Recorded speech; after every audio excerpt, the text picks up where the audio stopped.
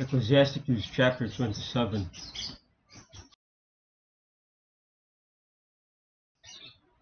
Many have sinned for a small matter, and he that seeketh for abundance will turn his eyes away. As a nail sticketh fast between the joinings of the stones, so doth sin stick close between buying and selling. Unless a man hold himself diligently in the fear of the Lord, his house shall soon be overthrown. As when one sifteth with a sieve, the refuse remaineth, so the filth of man is in his stock. The furnace proveth the potter's vessels, so the trial of man is in his reasoning. The fruit declareth if the tree have been dressed, so is the utterance of a conceit in the heart of man. Praise no man for thou hearest him speak, for this is the trial of men.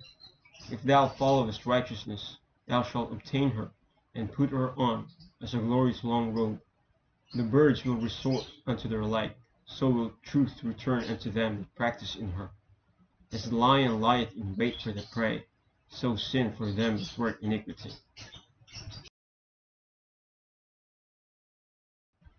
The discourse of a godly man is always with wisdom, but a fool changeth as the moon.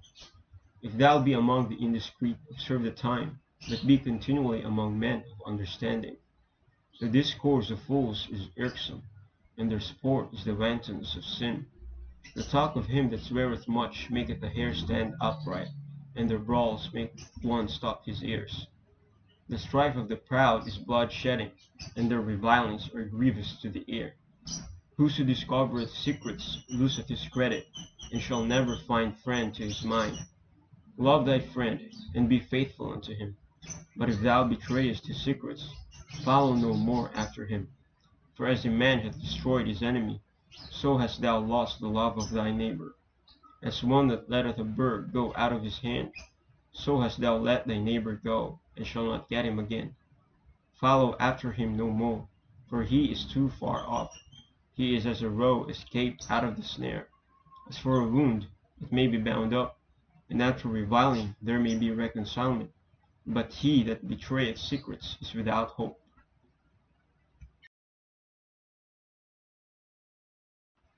He that winketh with the eyes worketh evil, and he that knoweth him will depart from him.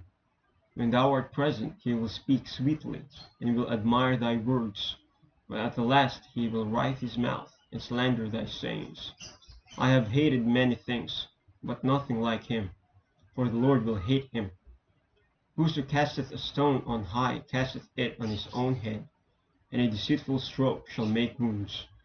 Whoso diggeth a pit shall fall therein, and he that setteth a trap shall be taken therein. He that worketh mischief, it shall fall upon him, and he shall not know whence it cometh. Mockery and reproach are from the proud, but vengeance, as a lion, shall lie in wait for them. They that rejoice at the fall of the righteous shall be taken in the snare, and anguish shall consume them before they die. Malice and wrath, even this are abominations, and the sinful man shall have them both.